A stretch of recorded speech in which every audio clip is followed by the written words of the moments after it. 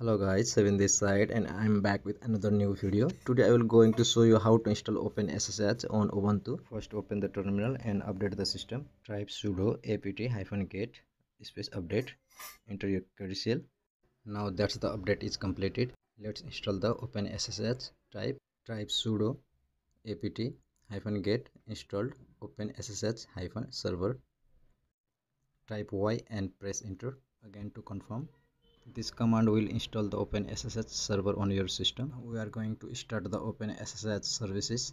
Type sudo systemctl start SSH. Let's check the services.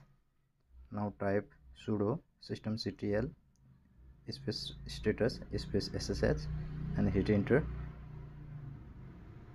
Now we can see OpenSSH server is active and running state. To ensure OpenSSH server start automatically, whenever your server is reboot type the following command. Sudo systemctl enable space ssh that's it. Now we have installed the open ssh on our ubuntu device. For the test this i have to find the ip address of the ubuntu device. So type ip space a. Now i'm going to open up the putty. I will type in the ip address of this ubuntu device which is 172.27 217.238 now click on open. Click on accept. And I will log into my Ubuntu desktop using my credential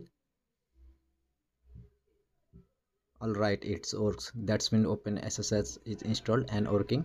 Thank you for watching and don't forget to subscribe this channel for more